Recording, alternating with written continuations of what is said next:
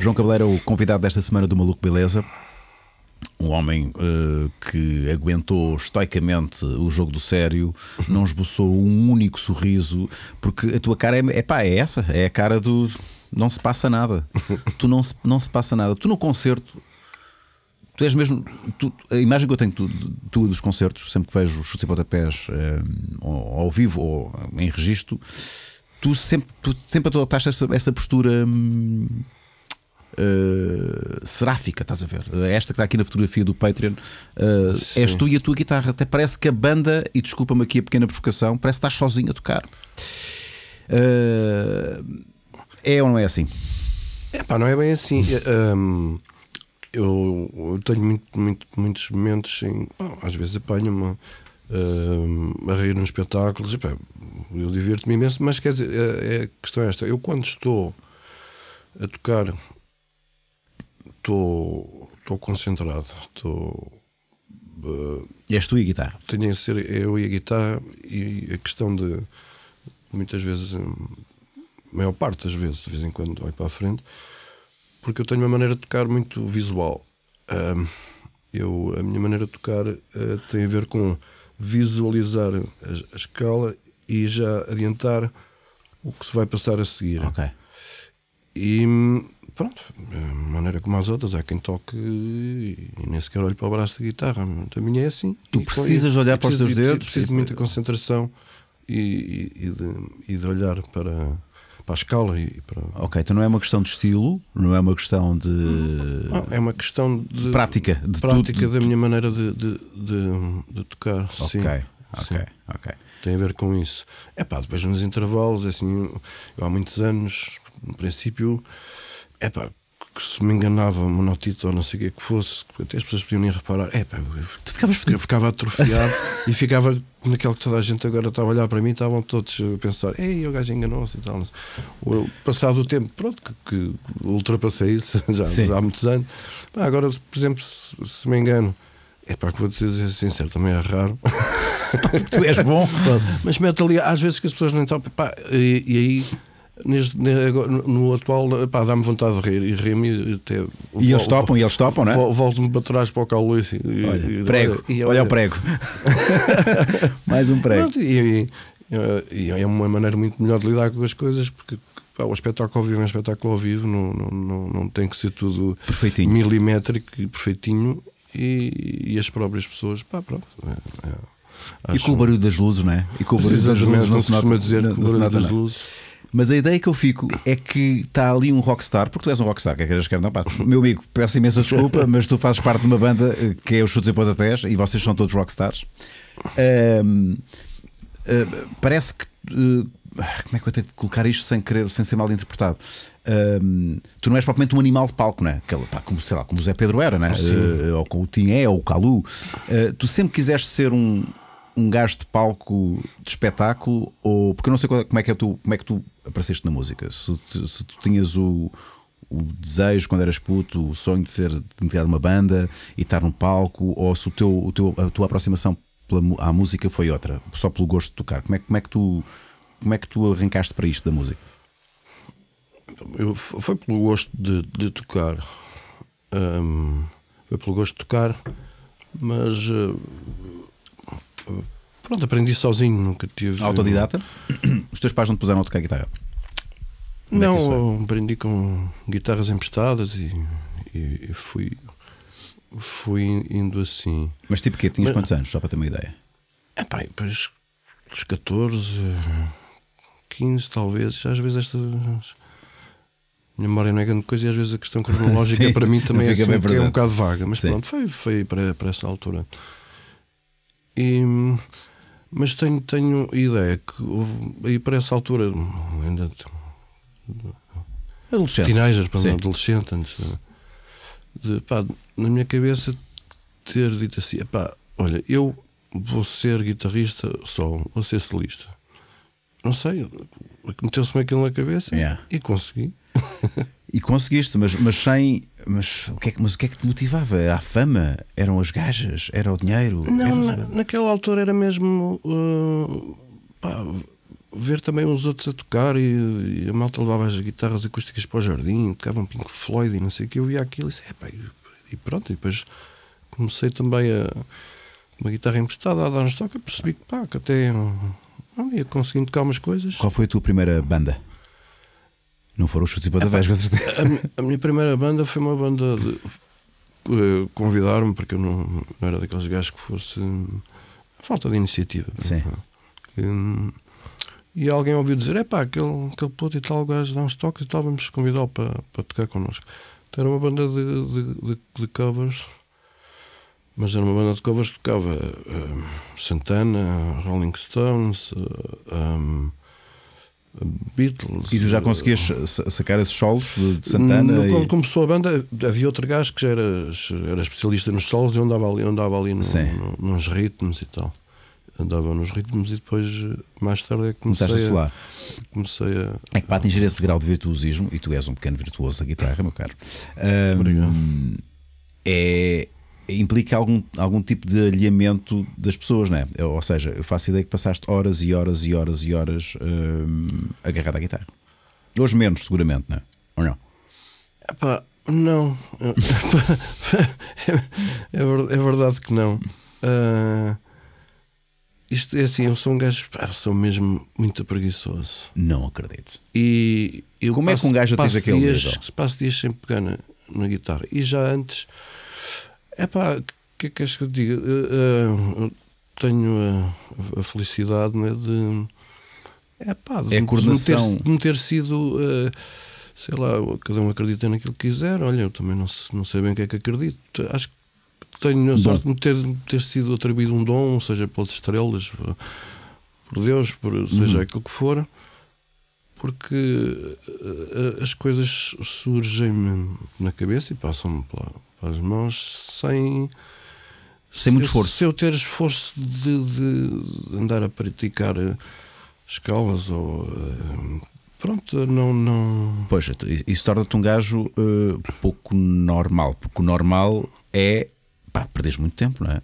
Pois, sei eu tenho aqui um músico, é o Marco, Marco, pá, atingir um determinado nível de virtuosismo Sim, que sim. seja, pá, ou tu és um gajo muito bem dotado, verdade. não é? E, e- ou então é Sim, trabalho. para manter trabalho, o trabalho. nível, né? Obviamente que há sempre uma altura em que, em que hum, tocamos muito, né? E aí as coisas acabam por acontecer, mas depois para manter o nível é preciso trabalhar e realmente é. E este homem, não- o preguiçoso. que conseguem fazer realmente têm um dom, é, isso é verdade, sem dúvida, sem dúvida. Então, a tua formação musical é inexistente?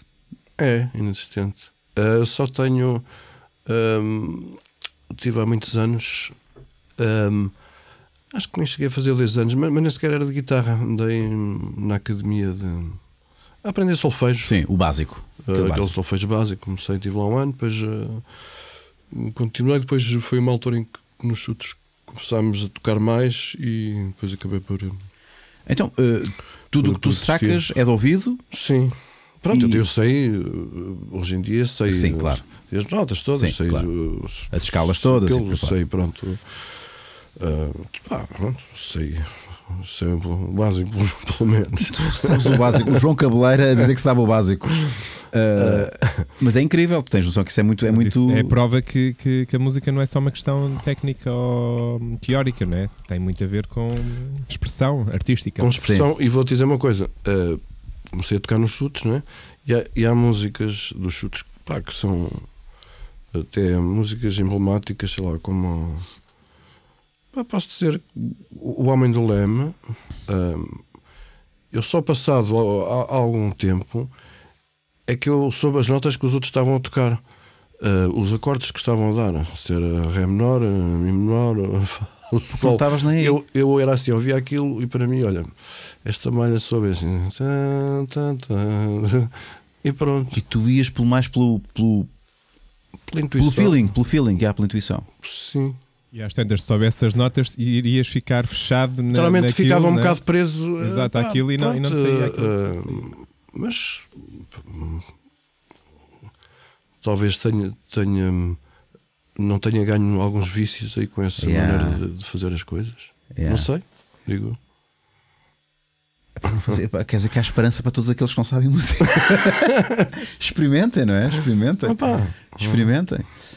Bom, tenho aqui muitas perguntas, eu vou fazendo-as ao longo da, da, nossa conversa, e até porque elas depois vão nos remeter para outros, para outros, um, para outros temas, que se bem que sobretudo fala-se de chutes e pontapés, claro. Chutes e pontapés, tu és o João Cabeleiro dos chutes e pontapés, é, o teu, é como era o seu Pedro dos chutes, o teu dos chutes, claro. é, o vosso, é o vosso apelido.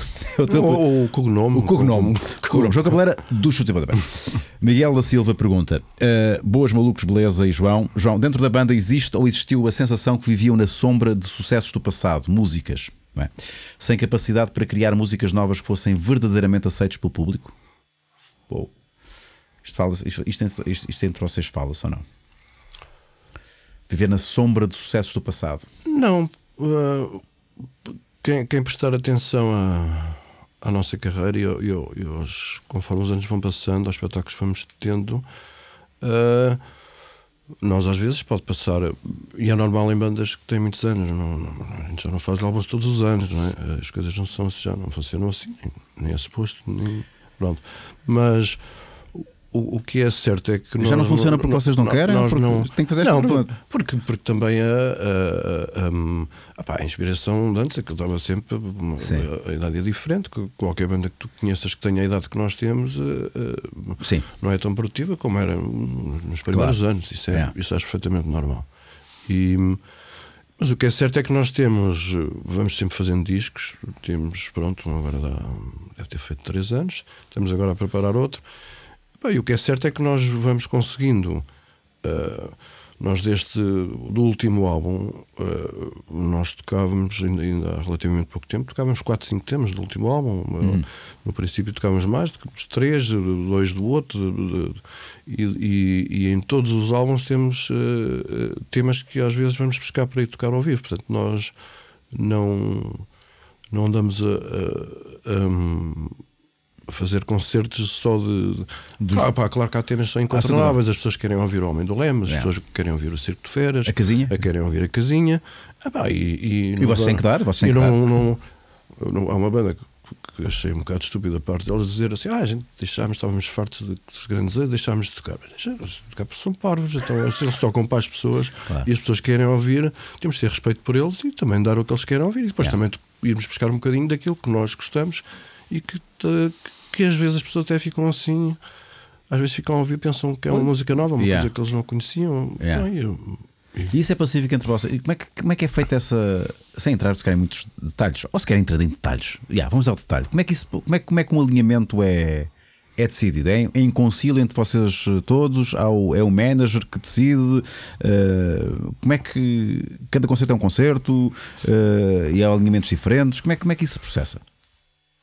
Não, nós, nós fazemos normalmente uh, alinhamento ano a ano. Um alinhamento para. Que serve para os concertos para, para desse ano. ano todo, a não ser que às vezes há uns ocasional que tem que ser mais curto, tem que se tirar e, e tem que se escolher. Yeah. E, mas fazemos para, para o ano e durante esse ano. Uh, é esse o set, outra, esse sete músicas. Fazemos esse set. Epá, uh, vou-te ser sincero, quem eu não tenho jeito nenhum para isso. o que quem, é, é para tocar? Eu toco. Uh, quem, quem fazia, quem começava sempre os alinhamentos era, era o Zé Pedro. O Zé Pedro, pá, pronto, tinha ali uma. Tinha esse, esse, esse essa iniciativa. Não, nós também, antes do ano começar, dizíamos: é pá, olha, está aqui, andamos a malhar nela há muito tempo, vamos, vamos trocar, vamos buscar outra coisa para, para, para refrescar um bocadinho. Agora, haja sempre aquelas que, como te falámos ainda agora, que têm que ficar. Vais tocar e, isso até o resto da tua vida, e, e pronto, sim. Uh, uh, epá, pronto, agora, uh, claro que depois uh, no ensaio alguém dizia, é, o, o Tim dizia assim, porque depois também ele canta, epá, olha, está aqui, não, não bate bem com esta a seguir, a gente troca, enfia ali, não sei o que, mas era principalmente mais o Zé que, que, que era o maestro, que organizava as, as músicas, as, as listas, as, os alinhamentos de, de espetáculo. Pá, olha, agora, agora, agora vai ter que ser de outra maneira. Mas vou ter uma coisa.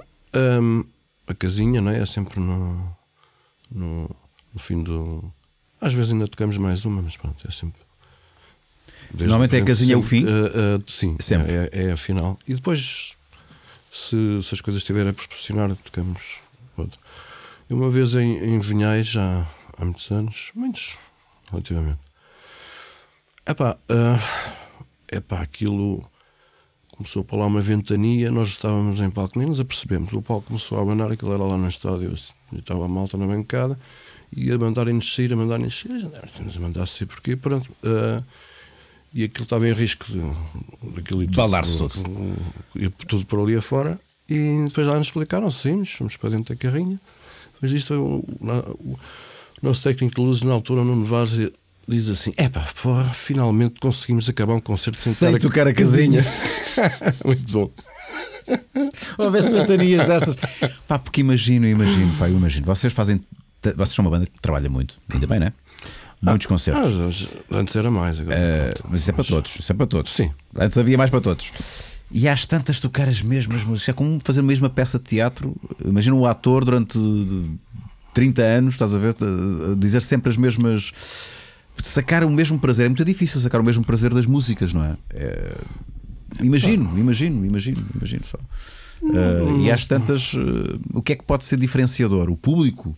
Uh, o, o, imagino que tocar no Rock in Rio é diferente de tocar, sei lá, numa, numas festas populares de uma, de uma vila mais recôndita. Ou, ou podes sacar mais prazer em sacar uma vila, em estar na vila em vez de estar no, no palco do Rock in Rio? Entendes? Ah, eu, eu, eu, eu, pessoalmente, hum, eu pessoalmente. Hum, epá, uh,